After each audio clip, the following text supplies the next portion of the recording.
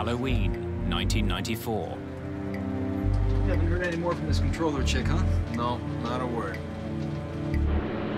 A commuter plane circles outside Chicago, waiting for clearance to land.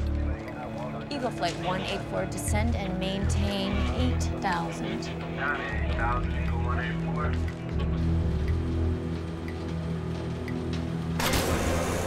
Without warning, the controls snap to the right.